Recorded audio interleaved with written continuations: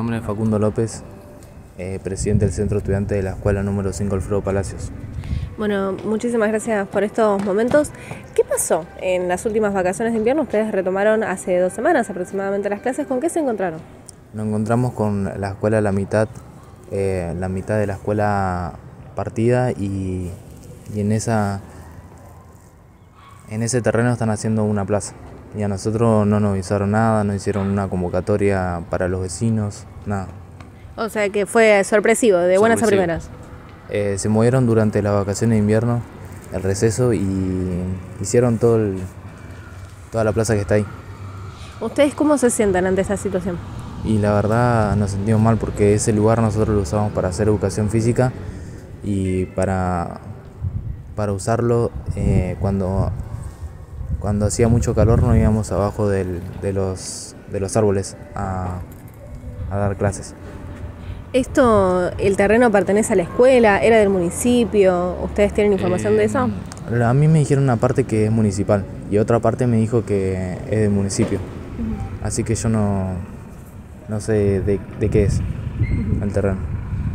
Y otra consulta que tiene que ver justamente con el espacio de la escuela. ¿Tiene espacio, digamos, para, para tener a todos los estudiantes adentro?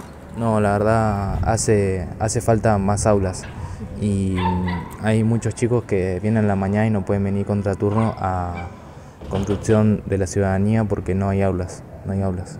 Es decir, que ese espacio que se usó para una plaza se podría haber usado para la ampliación de la escuela. Sí, podrían haber hecho tres aulas más y, y alber- albergado más chicos acá, porque hay muchos chicos en lista de espera y, y tienen que ir a otros lugares y es muy, muy largo el viaje. ¿Ustedes pu- pudieron hablar con las autoridades, los directivos, les dijeron algo? Sí, el director nos dijo que, que la construcción de la plaza nos beneficia a nosotros, que nos van a dar ventiladores, nos van a arreglar los paredones de los costados que están valorados y nos van a poner cámaras de seguridad, que hace bastante no tenemos y nos entran a robar. Es decir, que les cambiaron ventiladores y paredones por una plaza. Mm, Básicamente no, pero sí. ¿Y ustedes, digamos, en la escuela que tienen alguna otra falencia? ¿Les falta, digamos, más allá de los paredones, cómo está la, la infraestructura de la escuela? Y está bastante bien. eh, solamente eh, hay, hay ventanas y puertas que están. Faltan picaporte, faltan ventanas de vidrio porque pusieron ventanas de plástico. eh, faltan. Faltan los. eh, ¿Cómo es que se llama? Las cosas para tapar la ventana. eh, ¿Cómo que se dice? ¿Cortinas? cortinas, si faltan cortinas. eh, y, y también hace falta refacciones en el baño de las mujeres, que están sin agua. Y la última que tiene que ver, ¿ustedes están pidiendo que ese espacio vuelva a ser de la escuela?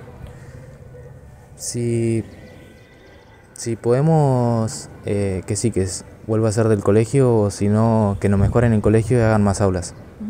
Es lo único que pedimos.